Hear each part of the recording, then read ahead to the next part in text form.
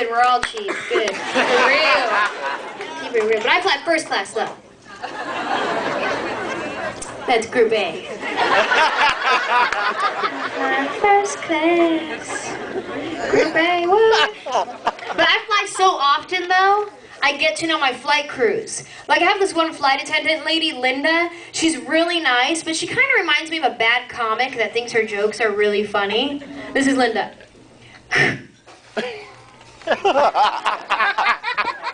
Thank you for flying Southwest Airlines Flight 2443. I'm going to go over some safety regulations with you. Your seat cushion may be used as a flotation device in the event that our flight becomes a cruise.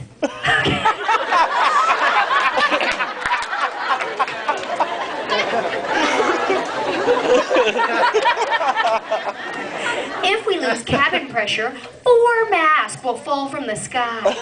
If you're sitting next to a child or someone who's just acting like one, please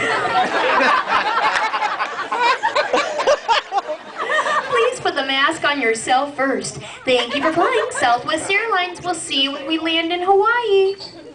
Okay, just kidding. Sacramento. We'll see you in Sacramento. Crazy Linda. She's really nice, though, really nice. But one day, though, I just want to get on a plane and there'll be a real ghetto flight attendant on there. Just real ghetto. That would really make my day to one day hear this.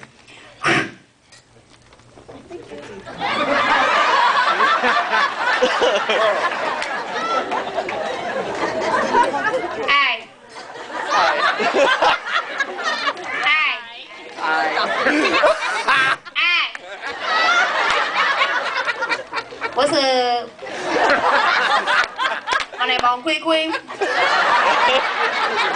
gonna be your flight attendant. So don't nobody ask me for nothing. Y'all on a plane flight, so don't act crazy. Excuse me, sir. Hello, sir. Do you see me going over my safety regulations, sir? This for your own security, sir. Your own security.